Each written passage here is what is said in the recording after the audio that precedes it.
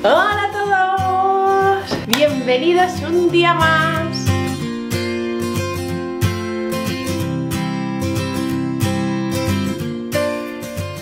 Hoy estoy aquí para explicaros algo que creo que es muy importante y es cómo estar ordenados y organizados en casa con peques. Mantener los espacios ordenados y organizados con peques es muy complicado, pero hay una serie de truquitos que quizás os puedan ayudar. La mayoría de veces nos pasamos el día recogiendo juguetes, poniendo, a los dos minutos está todo desastre otra vez y nos volvemos locos y pensamos, esto es una rueda que no termina.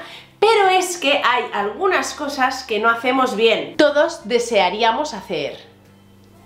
Y que todo queda así de perfecto. Pero esta no es la realidad. Así que os propongo poneros manos a la obra y empezar a hacer cambios que os van a ayudar a estar más tranquilos y a mantenerlo todo en orden. Voy a empezar dándos algunos truquitos que no debemos olvidar ni en esto ni en nada. En cualquier tema referente a vuestros hijos, estos trucos os van a venir genial. 1. No olvidéis nunca que somos modelos. ¿Esto qué quiere decir? Que lo que ven, hacen. No podemos intentar que su habitación, sus juguetes, todo esté ordenado si nuestra casa es un desastre. Si ellos ven que todos los espacios están ordenados, harán para que continúen ordenados, porque es como se vive. Si ellos viven en un caos permanente, evidentemente no va a haber ningún orden en su habitación ni en sus juguetes, porque es lo que están viendo. Dos, si se lo hacemos todo, nunca aprenderán. ¿Qué quiere decir esto? Que tenemos que dejarles hacer. El recoger forma parte del juego. El juego tiene varias partes. Elegimos juego, sacamos, jugamos, recogemos, dejamos todo en el mismo sitio. Todo esto forma parte del juego hay muchas ocasiones que sacan más de lo que ellos mismos son capaces de abarcar. Solución, controlarlo. Y esto parece muy fácil de decir, pero hay maneras de hacerlo y es podemos escoger un juego y antes de pasar al siguiente, este debe quedar recogido. Para ello podemos ayudarles, no tienen por qué hacerlo todos solos porque hay muchas veces que es muchos juguetes, son piezas de construcción, etc. Entonces debemos de intentar ayudarles para que no se les haga pesado y puedan seguir jugando a otro juego sin pensar, madre mía, voy a tener que recoger, ya no quiero jugar no, vamos a intentar ayudarles y poco a poco ayudarles cada vez menos hasta que sean capaces de hacerlo solos. Muy, muy importante, para guardar todo tiene que tener su lugar bien claro. No podemos poner un día aquí los coches y otro día aquí. Es muy importante que ellos sepan dónde están las cosas para cogerlas y para dejarlas. Voy con algunos apuntes y es que, por ejemplo, pueden coger coches y piezas de construcción para hacer carreteras. Ahí no habría problema porque os he dicho que solo se cogía un juguete, pero es cierto que pueden haber un poco de flexibilidad, ¿vale? Siempre flexibilidad. Ojo, hay que recordarle, eh, si coges dos cosas, tendremos que guardar dos cosas. Al igual que es muy importante establecer el lugar de juego para que las piezas no salgan por todos los sitios ni volando, sino se juega aquí. Y entonces podemos utilizar eh, alfombras, tapetes, etcétera, para intentar que los juguetes no se desperdiguen por todo el espacio y después cueste más de recoger. Y ahora sí que sí, no me enrollo más, vamos a las habitaciones y os enseño cómo lo tengo yo organizado y qué podemos hacer para que se mantenga así. Y empezamos arreglando las habitaciones siempre. Todas las mañanas al levantarse antes de irnos hay que hacer las camas. Y esto ellos lo van asimilando y cuando son un poquito más mayores pueden incluso ayudar a hacerlas. Pero es importante que lo vean como algo que hay que hacer. Como vamos al baño o como desayunamos o como nos peinamos, las camas se hacen. Y esto es a lo que antes me refería de que deben vivir en orden.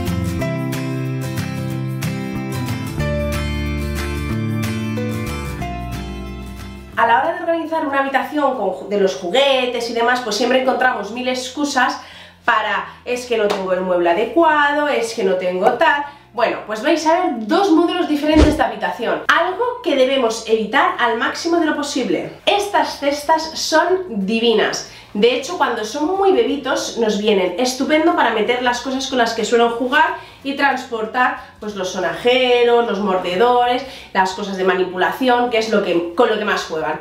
Pero cuando se hacen mayores hay que tener mucho cuidado porque puede ser un nido de trastos. No tenemos por qué deshacernos de estas cestas, evidentemente, pero tenemos que encontrar el uso adecuado y tenerlo muy controlado para que no se desmadre. Así que tenemos claro que eliminamos baúles, cajas, donde ponemos todo sin mirar lo que hay dentro. Eso no. Una forma de guardar juguetes es a través de estas cajas. Estas cajas nos van a facilitar la clasificación de los juguetes.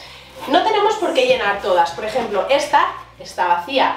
La llenaremos. No os preocupéis, no tiene por qué estar todo lleno. Dejemos espacio libre. Aquí tenemos el potato. Teníamos dos potatos. Para no tener dos cajas diferentes con las cosas de un potato y las cosas de otro potato, lo mejor es que esté todo junto ya que pueden compartir eh, complementos. Una cosa que tenemos que tener en cuenta es que ellos maduran, ellos avanzan, hay cosas que ya no les sacan el partido, así que hay que ir retirando juguetes. Por ejemplo, esto que tengo aquí es un juguete que tenía Noah, que ya no jugaba, pero que Eider sí que estaba empezando a jugar. Así que cambiamos de habitación. Cuando Eider ya no le haga caso, evidentemente esto se va fuera. Son piezas de construcción, llamadas duplos, creo que es. Eh, son un poquito más grandes que las Legos, pero no tan grandes como las primeras de construcción. Y por último, esto es una caja, pues eso, diferente. es cierto que podría haber sido todo el mismo color, pero bueno, no pasa nada tampoco. ¿Y aquí qué es lo que tenemos?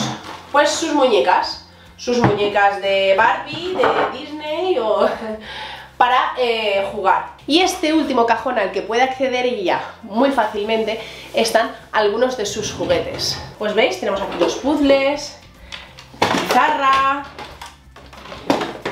tenemos la caravana de, las, de los bebés llorones y, por ejemplo, se nos rompió la bolsa donde iba esto, que son piezas de construcción de silicona. Bueno, pues no pasa nada, encontramos otra bolsa que nos haga el mismo papel pero no podemos tenerlas por ahí. Muy importante, además de fijarnos en la edad para ir retirando juguetes, debemos de fijarnos que todos tengan sus piezas. Un puzzle al que le faltan piezas ya no podemos jugar. Al igual que en juguetes como este que tienen piezas pequeñas, es muy importante enseñarles que deben de tener cuidado. Por ejemplo, aquí dentro, las piezas más pequeñas tienen un recipiente para guardar. Cosas importantes que debéis tener en cuenta. Este tipo de cestas vienen súper bien para organizar las cosas. Además, bueno, pues como veis dentro tenemos diferentes cosas, pero todo súper bien organizado. Estas cajitas de Ikea también son perfectas para poder guardar las cosas. Podemos etiquetarlas. Otro tipo de recipientes pueden ser estos, que cuando dejan de usarse pueden plegarse y no ocupan espacio. E incluso estas cajitas de Ikea también de tela que tienen una cremallera y se pueden plegar también al terminar. Pero evidentemente hay algunos juguetes que no queremos que estén a su alcance. ¿Y qué hago yo? Meterlo en su armario. Así que aquí en su armario tengo algunos que no me interesa que coja porque si los coge y no me doy cuenta puede ser una catástrofe. Esta es la misma forma de proceder con los cuentos. Aquí tengo los cuentos que quiero leer con ella, que tienen hojas eh, que son muy delicadas o tienen pestañas que puede romper con facilidad. Entonces todos estos están a una altura que necesita mamá o papá para acceder a ellos. Los que son rígidos y puede coger, los puede tener a su alcance. Como os he dicho, esta opción de los tapetes es buena para delimitar el espacio. ¿Veis? Estos serían dos ejemplos. También podemos utilizar una alfombra o delimitar muy bien el espacio con eh, cojines o con algún mueble, etc. Y aquí tenemos nuestra conocidísima estantería trofas de Ikea. lo cierto es que eh, este modelo de estantería es ideal, hay muchos modelos, esta es en forma de escalera, vamos, que podéis eh, diseñarlo en función de vuestro espacio. Nosotros aquí tenemos cajones pequeños donde hay legos, coches, eh, Playmobil y él tiene clarísimo dónde está cada cosa. Después esto de aquí ha ido variando en función de las necesidades. Aquí tiene a su Minion, cuentos que utiliza él cuando quiere. Aquí os enseño como también tenemos guardadas ciertas cosas. Hay que aprovechar cualquier espacio, pero todo súper bien clasificado. Podemos aprovechar fiambreras como estas, aquí tenemos los coches, y aquí tenemos pinchitos. Una cosa que suele ocurrir y es que estamos cogiendo mmm, coches y aquí dentro nos encontramos con un pinchito porque en su día jugando, bueno, pues metimos sin querer un pinchito ahí. Pues sí, amigos y amigas, vamos y lo guardamos en su lugar. No lo dejamos ahí, bueno, luego lo guardo, luego lo guardo. Porque al final creamos un montón de luego lo guardo que nunca guardamos y acaba pues eso, mm, mezclado todo, faltando piezas en otros sitios, etc. Al igual que la habitación de Eider, Noah también tiene un cajón debajo de su cama para algunos de sus juguetes. Mirad, y aquí, pues al igual que su hermana, pues tiene todo en botecitos, súper clasificado para que sepa qué tiene en cada sitio, tapes pequeños, cajas, pero es la forma de que él sepa dónde tiene cada cosa y que lo guarde todo en su lugar. En esta estantería de arriba tiene todos los cuentos que contamos con papá y mamá. Y ya que no tiene un armario tan súper grande de tres puertas, bueno, pues este último armario tiene algunos juguetes como son puzzles, juegos de mesa, etc. Y estos juegos están ahí para que él sepa que esos juegos son los que tiene que tener más cuidado, que Eider no pueda cogerlos sin querer o que cuando él juega libremente sepa que esos hay que jugar con papá y mamá porque son juegos que necesitas más de una persona para jugar. Como veis, de esta manera tiene muy esquematizado lo que puede jugar él solo, lo que puede jugar con papá y mamá, los cuentos que puede coger él solo, los que puede coger con papá y mamá, dónde va cada cosa, todo tiene su lugar, es muy importante que eso lo tengas súper claro. Y la única manera es que todos los días lo haga igual, no cada vez en un sitio, o si estoy de buen humor, eh, hoy sí que lo arreglamos, pero si hoy estoy muy cansada, pues no lo arreglamos. Así que lo dicho, muy importante, somos modelos, lo hacemos todos los días, eh, no nos acostamos sin que esté todo en su lugar, nunca. Eh, en mi caso, en el comedor no hay juguetes, se termina de jugar cada cosa se va a la habitación. Y esto quiero decir porque es cierto que ellos a veces juegan aquí los dos, a veces juegan en la habitación de Eider, a veces juegan en el comedor, pero siempre todo se queda en su lugar. Todo está adecuado a su momento madurativo, porque seguro que si nos ponemos a mirar sacamos espacio por un tubo. Solo que hay que mirar de forma objetiva qué es lo que sí que utiliza y qué es lo que no utiliza. Y por supuesto hacer una limpieza y una reorganización cada poco tiempo, porque estoy segura que esto va cambiando mucho, va modificándose mucho y además el ir cambiándole cosas de lugar también les motiva a ellos a seguir jugando. Por cierto, otro truco que os voy a decir es que podéis ir guardando juguetes y sacándolos, cambiándolos, intercambiándolos.